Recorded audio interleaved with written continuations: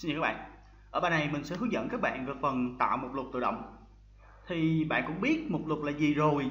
Nó gồm danh sách các tiêu đề từng mục và số trang của từng mục đó Để người xem có thể viết theo dõi nội dung chính của văn bản và tìm kiếm nội dung họ cần nằm ở trang nào một cách nhanh chóng. Ha. Thì nội dung chính ở phần này đó là gồm, Thứ nhất là tạo heading, tiêu đề của mục lục Tạo thứ thứ hai là tạo một lục tự động. Rồi, mình sẽ hướng dẫn các bạn phần đầu tiên. Đó là tạo heading tiêu đề một ha. Ờ, đây mình sẽ sâu luôn cho bạn coi. Đây chính là một cái mục lục mà mình tạo tự động. À, từ một bài viết. Sẽ trang một trang cùng một trang một sẽ có hai phần trang hai một phần trang ba một phần. Nó nằm như vậy. À, rất là dễ. Bạn nhấn control một phát. Control cộng chuột trái nó sẽ bay tới phần đó. Hay không? Control chuột trái nó sẽ bay tới phần đó. Mục lục tự động rất là tuyệt vời ha. Rồi thì đây chính là mục lục mục tiêu của mình là làm sao ở bài này làm sao làm được cái mục lục này. Nhưng mà trước tiên mình cần phải tạo được cái heading trước nó mới tạo mục lục tự động cho bạn được. Thời trước khi mà xài Word 2003 á, thì có cái kiểu tạo mục lục bằng cách đó là người gõ và tab cũng gọi là kỹ thuật cao cấp của thời đó rồi.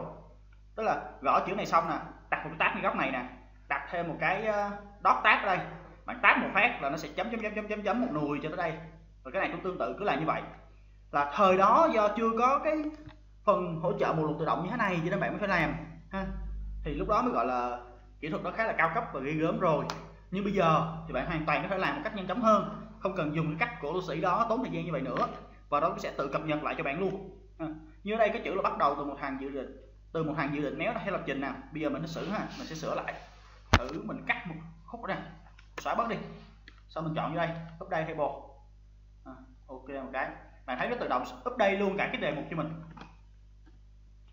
Thấy không? thì có phải là khỏe hơn không? Còn có chuyện, giả sử mấy mốt khi các bạn sửa, các bạn quay lại các bạn sửa tiếp. Rất là chết. Vậy đấy. Rồi. Ok. Rồi, thì để tạo được một mục tự động như thế này, bạn cần phải tạo heading cho văn bản của bạn.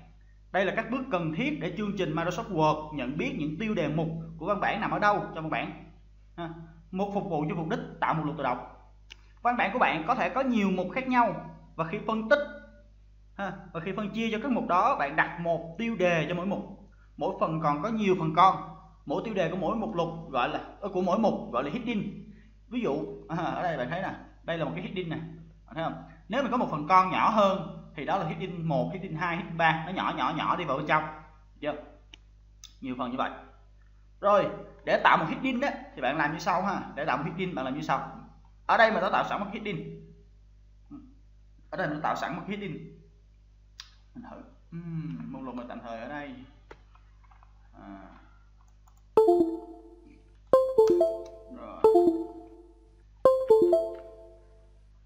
Ok remove table content mình xóa mục lục luôn ha. Rồi. Format now rồi mình xóa được format rồi xóa luôn format của cái đoạn văn bản mình có sẵn đây. Bây giờ ở đầu mình thêm ha. Mình thêm heading thì đây là chính là cái heading mình cần. Đây chính là cái title của mình. Đây là cái heading thì bạn chọn tiêu đề mục bạn muốn tạo heading bây giờ mình chọn hàng này, mình muốn tạo nó là một cái heading nó sẽ nằm một phần trong cái mục lục của mình. Không, đôi khi bạn không muốn sử dụng mục lục, nhưng mà bạn vẫn muốn tạo heading để cho nó rõ ràng hơn. Thay vì lúc trước là các bạn đánh số. Các bạn đánh số 1 là gì đó, hai là gì đó. Thì với cái phong cách soạn văn bản hiện đại, thì người ta có một câu là drop down bullet tức là bỏ hết những cái kiểu đi bỏ hết những dấu chấm đầu dòng rồi bỏ hết những cái title mà số 1, số 2, số 3 như vậy đi. Nhìn nó rất là xấu. Lúc trước thì còn đẹp nhưng bây giờ nó không còn đẹp nữa. Không cần đánh số như vậy. Mà chúng ta chỉ cần làm rõ hơn là cái title hoặc là cái heading đó nó to hơn màu sắc nó khác biệt một chút và những hàng con của nó thì nhỏ hơn. Và mình đồng bộ lại thì khi mà nó đọc từ trên xuống dưới người ta sẽ tự hiểu. Và nó đẹp hơn nó hoa mỹ và nó khoa học hơn nhiều. Nên bây giờ qua 2016 từ 2013 2007 2007 cũng đã có những chức năng như vậy rồi. Đó, hit pin như thế này, bạn nhấn một cái là bay này chưa chữ Z lại ha. Thì để tạo, đầu tiên là mình sẽ chọn.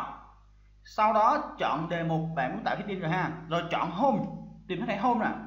Chọn style, đây là style. Chọn hit pin tương ứng. Chọn hit pin tương ứng với cấp độ của nó. Như là hidden một này bạn thấy không? Chữ hidden một nè.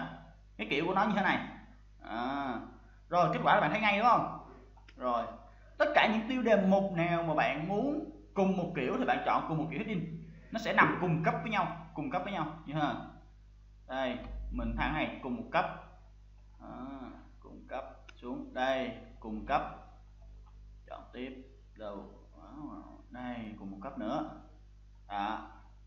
À. rồi ở đây mình chọn là kiểu title. Mình chọn vào giữa cho nó đẹp. Trên cùng thì cũng vậy khá là title cho vào giữa cho đẹp. Rồi sau khi mình trình bày sơ là bạn thấy loại văn bản của mình nhìn đẹp hơn hẳn. Tại vì mình biết mình trình bày đẹp mà. Đó. Rồi thấy không? Thì đó một cách trình bày theo heading. Đó là mình có heading một. Giả sử khúc này mình cho nó là heading hai đi ha. Mình làm bậy thôi mình làm bừa thôi. Khúc nào ta? Ừ, thằng này không có đi.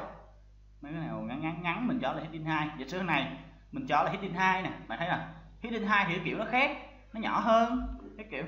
Chưa? Kiểu nó khác nó nhỏ hơn. Thêm vài thằng thêm heading hai vào. Cho đại thôi chữ để mình test thôi mà mình thử nghiệm thôi. Ừ. đó. Rồi bạn thấy cái hidden có thêm cái lợi nữa. Bạn đóng nó lại được nè. Đóng những cái nội dung của hidden lại được nè. À, hay không? Chưa rất là lợi hại luôn. Rồi văn bản các bạn gọn ghẽ. Chưa? Rồi đó là hidden ha nếu như bạn muốn tạo heading nhưng mà không muốn sử dụng những quy định có sẵn bạn muốn custom nó lại bạn muốn tùy chỉnh nó thì bạn có thể thử nè. Bạn chọn tiêu đề bạn muốn tạo tại một heading ở đây. À chưa? Nhấp chuột phải lên nó giả sử đây ha. À, đây đây. Mình để đây hàng sẵn ha. Nhấp chuột phải lên nó mình chọn à, ờ, quên hoặc là ở đây nhấp chuột phải. Chọn paragraph. Gì ta? Sai rồi đó phải là chọn paragraph à mình có thể chỉnh cấp độ cho nó. Mình nhầm. Mình có thể chỉnh được cái cấp độ cho nó nha. Ở đây mình có thể chỉnh cho nó là, giả sử như cái loại heading này là heading 1 đúng không? Thì nó đang là cấp độ 1 nhưng bây giờ bạn hoàn toàn có thể sửa nó lại. Không còn là cấp độ 1 mà là cấp độ 2 3 4 gì đó. Ha, đó là tùy ý bạn. Bạn hãy sửa lại. Nó là cấp độ bao nhiêu bao nhiêu đó. Chưa? Ừ. rồi. Rồi cái ý như vậy thôi. Hoặc là, để coi. Để coi outline level. Hoặc là bạn có thể vào đây. Đôi khi á đôi khi là bạn không phải chỉ cấp độ không như thế này mà bạn muốn á, tùy chỉnh luôn cả cái tùy chỉnh luôn cả cái heading này cái kiểu gì. Thay vì sử dụng màu tím bạn thử màu vàng thì sao? Thì bạn chọn cái heading bạn muốn nhấp phải chọn modify. Đây nè khi bạn vào modify rồi á modify style cái bảng này hiện lên bạn hoàn toàn thể điều chỉnh rất là nhiều thứ trong đây. Như là chỉnh lại cái màu nó là màu vàng. À, đó ra màu vàng nó review cho bạn coi chỉnh phong nó lại là gì đó? Chỉnh sai lại là gì đó? Được không? Rồi bạn chỉnh Python là cái gì? Normal hay là heading 1, heading 2, heading 3, heading 4 gì đó? Style gì đó. Nem là gì? Bạn chỉnh nem được luôn nè bạn thấy không? Đó, rất là nhiều thứ. Bạn hãy chỉnh thêm format của nó nữa. Chỉnh rất là nhiều thứ trong đây nữa. Chỉnh thêm format cho nó là gì đó ở đây. À, cực kỳ nhiều thứ để bạn điều chỉnh. Cực kỳ nhiều thứ để cho bạn điều chỉnh ha. À, tùy bạn mỗi hidden bạn đều có thể tạo bạn đều có thể chỉnh sửa lại bằng cách như thế này. Ok để bạn lưu mình không muốn lưu lại. Hoặc là bạn lưu lại bạn thấy nè. Đó qua một vàng hết tất cả thằng nào sử dụng hidden một đều chuyển về hết. Rồi rồi giả sử bạn không muốn modify mà bạn muốn tạo một hidden mới thì sao? Ở đây đây. Create a style. Bạn tạo một style mới tên gì kiểu gì? Giả sử như là K9 à, style 1 ok. Rồi bạn có một cái K9 ở đây rồi bạn modify nó đó bạn điều chỉnh. Style sẽ là cái gì ở đây? À, thử là màu vàng nè.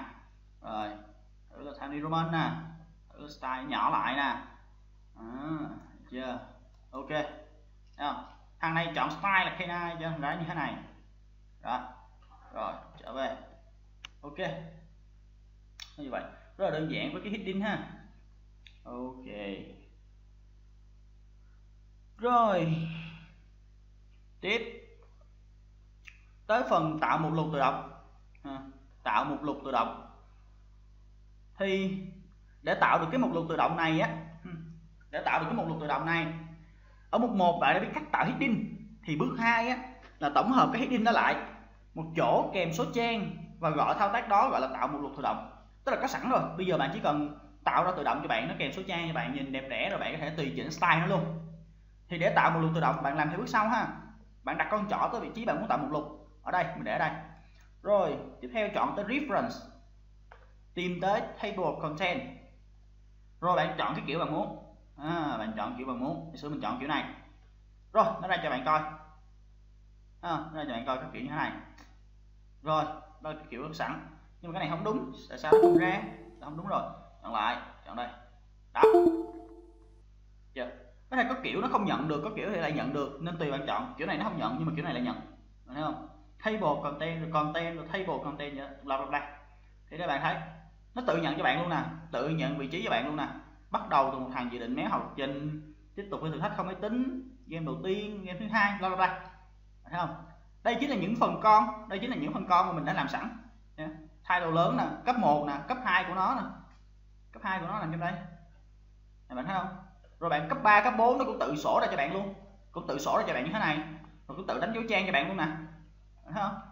Cực kỳ dễ ha. Rồi tiếp. Giả sử bạn muốn chỉnh sửa thì sao? Cái content này bạn muốn thay bằng gì? Nội dung. Bài bài viết đi ha. Đó giả sử, giả sử như vậy. Rồi xong. Thay vì chữ mục lục thì bạn ghi là nội dung bài viết nghe cho nó ghê. Được không? Rồi bạn có thể thêm vài thứ. Bạn có thể chỉnh sửa như thế nào đó. Rồi bạn có thể chỉnh sửa một lục tự động như thế này nè. Chỉnh sửa tiêu đề thì bạn đã chỉnh sửa xong rồi. Bạn hoàn toàn bôi đen nó rồi bạn sửa y như chữ bình thường thôi. Bạn có thể cập nhật cả một lục được. Cập nhật một lục ví dụ như bạn có đoạn văn bản như vậy rồi rồi bạn thêm một một con nữa. Giả sử bây giờ mình thay vì thêm một một con thì mình bớt đi ha. Ở đây bạn thấy là game đầu tiên, game thứ ba đi ha. Bây giờ mình bỏ cái này đi. Nó không còn là title nữa. Mình về home, mình chỉnh style lại. Nó sẽ không còn là title nữa, mà nó sẽ như những cái chữ bình thường khác thôi. Rồi mình để format y chang này ha rồi thì bây giờ cái mục lục này không còn đúng nữa. Muốn cập nhật nó thì sao? Mình chọn update table bạn bấm vô thay, bạn bấm vô cái mục lục bạn sẽ thấy ngay cái chữ update table đây. Nhấn vào nếu bạn chọn update page number only thì nó chỉ update những cái số này thôi.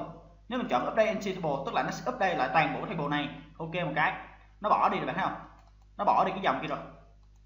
Rồi bạn muốn bay tới cái chỗ nào mà mục lục nó chưa nó gọi như là mô phỏng hoạt động cây nhị phân gì đó control đè phím control cộng với lại chuột trái. Nếu không bạn rê chuột vào nó cũng ghi nè. Control cộng click to follow link. Tức là bay tới cái vị trí đó bấm cái bàn, nó bay xuống. Thấy không? Dễ dàng quá ha. Đó, cực kỳ tuyệt vời luôn. Rồi. Giả sử bạn muốn chỉnh sửa vị trí số trang thì sao? Bạn muốn chỉnh sửa vị trí số trang. Thì như cái ví dụ cái ví dụ trên á thì vị trí số trang nằm ở lề phải của trang văn bản nhưng bạn muốn chỉnh cho nó nằm ở vị trí ngay sau mỗi tiêu đề mục thì là ra sao? Đấy ban đầu thì nằm về phải nhưng bây giờ bạn muốn nằm ngay đây thì sao? Thì bạn chọn ha bạn chọn mục lục của bạn nè. Bạn có thể tạo nhiều mục lục mà cho nên thành ra bạn chọn cái nào bạn muốn. Rồi bạn tìm tới reference bạn tìm tới table content. À, còn tới chọn tới custom table content. À. rồi tới đây rồi hợp thoại table content xuất hiện. Bạn bỏ chọn tại right align page number đây nó chính xác chưa bạn thấy không? À, nếu số bạn chọn right thì bạn có thể chỉnh cái kiểu khác. Đó thay vì dấu chấm thì có thể là dấu gì đó bla bla bla tùy bạn. Được không? bạn cũng thể chọn show by number hoặc là không nè. Right giả sử mình làm từng cái cho bạn coi nha. Ok một cái. Rồi nó bay lại rồi thấy không? Nó sửa lại. Giả sử mình sửa tiếp custom mình chọn right. À, ok. Yes. Đó cho bay lại ha. Bên sửa tiếp mình cứ chỉnh từng cái từng cái cho bạn thấy sự thay đổi của nó rồi giả sử đây không phải là dấu chấm nữa. Dấu này. À. ok. Yes bạn cứ yes nha. Đó nó thay đổi rồi bạn thấy không? Rồi cứ sửa tiếp. Xem còn gì để nghịch thì mình cứ nghịch hết đi. Ở dưới rõ format thì là form template hay là classic hay là disty fancy modern. Giả sử modern. Đó nhìn thấy các bạn ghi gớm không nè. Mỗi format thì nó mỗi, mỗi kiểu khác nhau. Thấy không? Mỗi format sẽ có mỗi kiểu khác nhau. Chọn classic thì như thế nào? Chọn distinct như thế nào? Chọn fancy như thế nào? Chọn symbol như thế nào? Form template như thế nào? Formal à, từng cái từng cái nó khác nhau. Modern thứ ha ok. Yes. À, một lượt các bạn ra như thế này. Được chưa? À, chỉnh tiếp. Nhiều cái để chỉnh mà. Mình trở lại form template show level. Tức là ở đây bạn sẽ show bao nhiêu level? Giả sử bạn chọn 3 level thì ra 3 level 4 thì ra 4 tức là giới hạn giới hạn sẽ chọn ở giới hạn sẽ giới hạn là bạn sẽ cho sâu ra bao nhiêu hạt à. Ờ. rồi. Classes mình chọn tab. À, ok. Yes. Rồi quay lại vậy như thế này. Rất là nhiều kiểu. Rồi còn một số thông tin nữa giả sử đây option là cái gì? Đó hay hay nữa nè. Hidden mấy hidden mấy. À, chọn đây là build table content from style là build từ style build từ outline level hay là build từ table empty field à, có nhiều kiểu ha. Mình chọn như thế nào? Hoặc là mình chọn modify thì mình điều chỉnh nó nè. Ồ, rất là nhiều thứ trong đây. Rồi, như đây là đủ cho bạn xài rồi. Xong. Mình đã hướng dẫn cho bạn phần điều chỉnh như vậy. Rồi. Cực kỳ đơn giản luôn. Ok. Xem còn gì để hướng dẫn bạn không? Rồi. Xóa một lục thì sao? Xóa một lục thì sao? Đơn giản thôi, chọn tới reference, chọn tới table of content, chọn remove table of content. Mất đơn giản ha. Hoặc.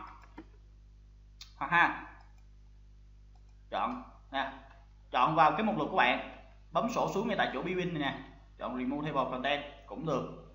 Ok, đó là hai cách không qua bài này, bạn có thể thao tác mục lục tự động và thao tác với nó để viết sách hay văn bản cần mục lục một cách nhanh chóng hơn. Bài tiếp theo sẽ là chèn chú thích vào văn bản cảm ơn các bạn đã theo dõi bài viết. Hãy để lại bình luận hoặc góp ý của mình để phát triển bài viết tốt hơn. Đừng quên luyện tập, thử thách, không ngại khó. Cảm ơn các bạn.